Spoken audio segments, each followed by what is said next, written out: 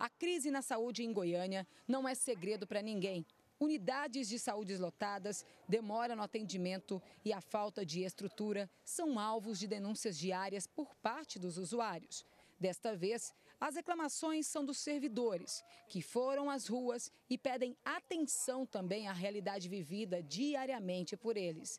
Os funcionários da saúde fizeram um protesto para reivindicar melhores salários e denunciar a falta de medicamentos básicos. Só nessa lista aqui, gente, que foi apresentada pelos servidores que fizeram essa movimentação na última manhã no centro da cidade, em Goiânia, tem mais de 30 itens. Esses itens são remédios que faltariam nessas unidades básicas de saúde. Remédios como antibióticos, analgésicos, anti-inflamatórios e até vitaminas. Uma outra reivindicação que aconteceu aqui também é o reajuste de salário que não acontece há dois anos. O nosso plano de cargos e salário nunca foi respeitado desde quando foi implantado.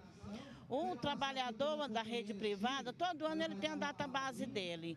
O, o servidor da saúde do município de Goiânia, toda vez que é para receber a data base, tem que ir para a rua, tem que é, reivindicar, tem que é, precisa ameaçar a greve para poder esse plano de cargos e salário ser respeitado e a nossa data base. São direitos que não estão sendo respeitados e quando a gente diz direito, além de data base, progressão e outras coisas, nós estamos falando também na questão lá na ponta, no atendimento. A gente chega lá, às vezes você tem um enfermeiro, dois, dois três técnicos de enfermagem, num plantão de um cais igual chácara, amendoeira, UPA, isso é absurdo. A minha luta maior é principalmente a respeito dos pacientes, porque nós temos visto um sofrimento muito grande por parte da população, onde a população tem sido mal assistida.